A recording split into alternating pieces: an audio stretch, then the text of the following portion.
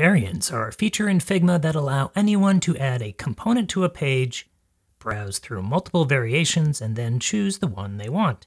Now this is a huge benefit because it cuts down the number of components you need to create and makes it easy for anyone working with this project to find what they need.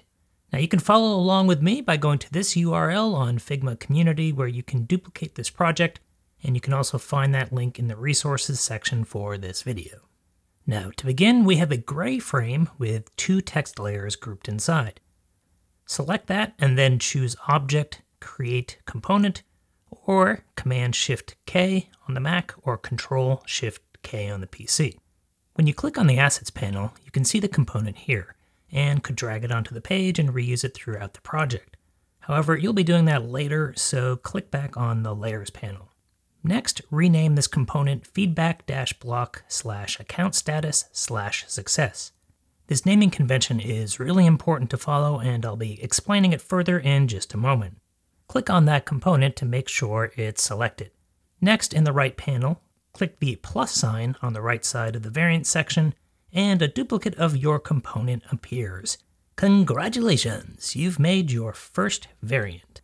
Now, this purple dashed frame that appeared is Figma's way of visually identifying that this is a group of variants, technically called a component set. And you may have noticed this purple square with the plus sign on the bottom right. Go ahead and click that and a third variant will appear. At this point, you could keep on clicking and add more variants, but we're going to stop here at 3. So let's examine what happened. Click the top level component named feedback block and where did this name come from? And also, where did these layer names, account status, comma, success, come from? Well, you guessed it. These properties were directly generated from the component name I had you type in earlier. When you use this special syntax, any text before the first slash is turned into the component name. And then for every extra forward slash, Figma creates a new property and value. So what are those? Well, Properties are the different characteristics of a component.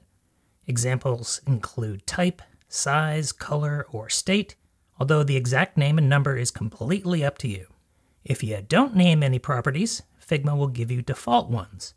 And actually back in our project, that's exactly what happened. We have property 1 and property 2. So let's give these better names. Click in the property 1 field and type the word type. And then in the property 2 field, type the word message. Next, we have values, which are the options available for each property.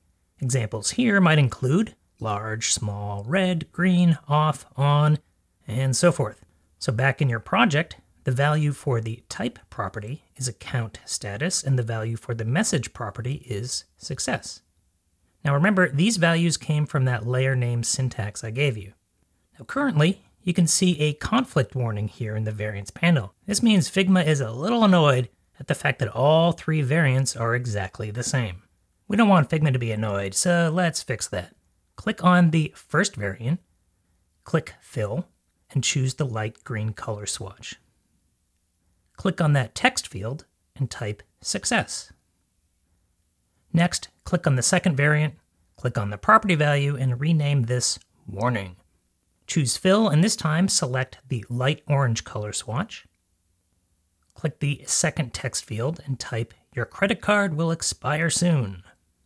Now, for this last variant, I want you to notice what happens to this conflict notification. Click on the property value and type error. See how that conflict disappears? That's because all three variants are now unique and Figma is happy. Choose Fill and select the red swatch click the second text field and type, Your credit card has expired. We tried to warn you. Cool, we're done. So let's just take a quick look at how you or a team member would now use these variants in a real world situation. In the left sidebar, click on the mockup page. Next, click on the Assets panel and drag the feedback block component and place it below the header. Now go over to the variant section, click on this menu, and choose each of those three options in turn. Notice how they change, and that's the benefit of variants. Very cool, very convenient. That's it for now. Be sure to check out the resources section for links to other tutorials and videos, and be sure to check out the entire course catalog at Gymnasium.